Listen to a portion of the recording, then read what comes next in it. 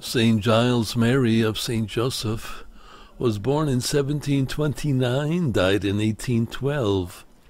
In the same year that a power hungry Napoleon Bonaparte led his army into Russia, Giles Mary of St. Joseph ended a life of humble service to his Franciscan community and to the citizens of Naples.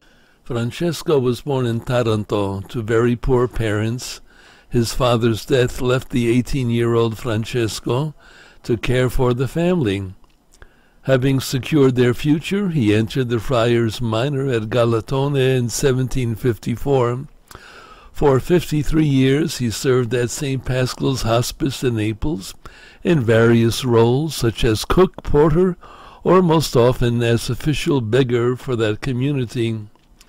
Love God, love God was his characteristic phrase as he gathered food for the friars and shared some of his bounty with the poor, all the while consoling the troubled and urging everyone to repent. The charity which he reflected on the streets of Naples was born in prayer and nurtured in the common life of the friars.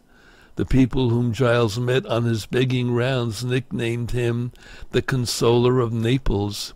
He was canonized in 1996. People often become arrogant and power hungry when they forget their own sinfulness and ignore the gifts God has given to other people. Giles had a healthy sense of his own sinfulness, not paralyzing, but not superficial either. He invited men and women to recognize their own gifts and to live out their dignity as people made in God's divine image.